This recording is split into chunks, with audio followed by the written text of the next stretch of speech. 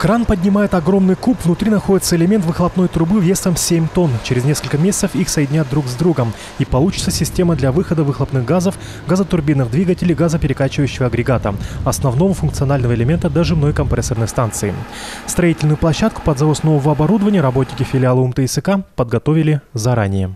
Ожидаемый пик э, интенсивности поставки – это конец ноября-декабря. Сложные сезонные работы. Ну, заводов э, изготовителей оборудования порядка двух десятков. То есть э, основным будет подведено под КМПО «Казань». То есть такое оборудование еще не поставляли. Первый груз Новозаполярный из Казани пришел еще в начале августа. Общий вес оборудования для хранения составит почти 10 тысяч тонн. Площадь хранения около 20 тысяч квадратных метров.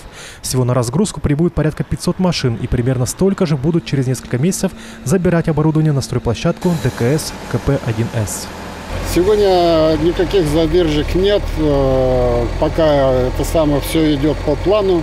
Э, уже говорил, что начало поступать Э, уже в августе месяце поступало оборудование, и сегодня вот пришли четыре машины. Пока все идет по плану.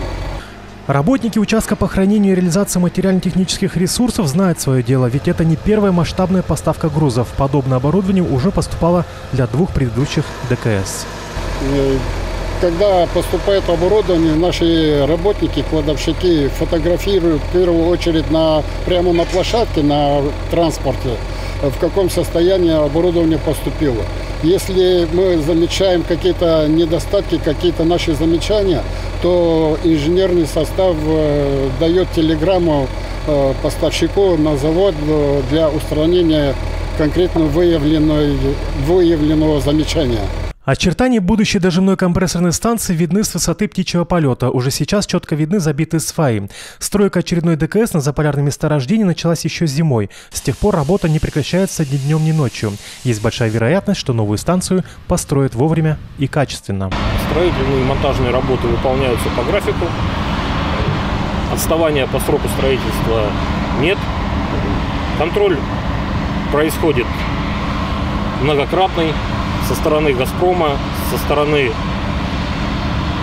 генерального подрядчика, со стороны филиала УРСОВ, филиала НГДУ, филиала ТЦ «Газпром добыча Ямбр».